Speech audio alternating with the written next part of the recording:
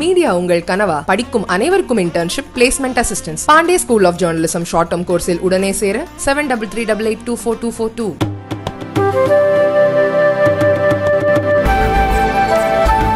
இரண்டு நாள் பயணமாக தமிழகம் வந்த அமித்ஷா காங்கிரசும் திமுகவும் ஊழல் மட்டுமே செய்யும் கட்சிகள் என கடுமையாக விமர்சித்தார். திமுக பதினெட்டு ஆண்டுகளாக காங்கிரஸ் கூட்டணியில் இருந்தும் ஏன் ஒரு எய்ம்ஸ் கூட தமிழகத்திற்கு கொண்டு வரவில்லை என கேள்வி எழுப்பினார். இதுகுறித்து பேசிய காங்கிரஸ் தலைவர் கே எஸ் அழகிரி தமிழ்நாட்டின் வளர்ச்சிக்காக மத்திய அரசு என்ன திட்டத்தை அறிவித்துள்ளது என கேள்வி எழுப்பியுள்ளார். மேலும் முதல்வர் ஸ்டாலினின் கேள்வியை புரிந்து கொள்ளாமலேயே பதில் கூறியுள்ளார் அமித்ஷா என கூறிய அவர் தமிழ்நாட்டிற்கு ஒரு துரும்பை கூட கிள்ளி போடாமல் உண்மைக்கு புறம்பாக அமித்ஷா பேசுகிறார் என்றும் காங்கிரஸ் ஆட்சி பற்றி மத்திய அமைச்சர் அமித்ஷா கூறும் குற்றச்சாட்டுகள் அப்பட்டமான பொய் எனவும் கூறியுள்ளார். மன்மோகன் சிங் போன்ற நேர்மையான நியாயமான பிரதமராக மோடியால் இருக்க முடியாது என்ற அவர் மதுரை எய்ம்ஸ் மருத்துவமனைக்கு மட்டும் இதுவரை கட்டடம் ஏன் கட்டப்படவில்லை என்று கேள்வி எழுப்பியுள்ளார்.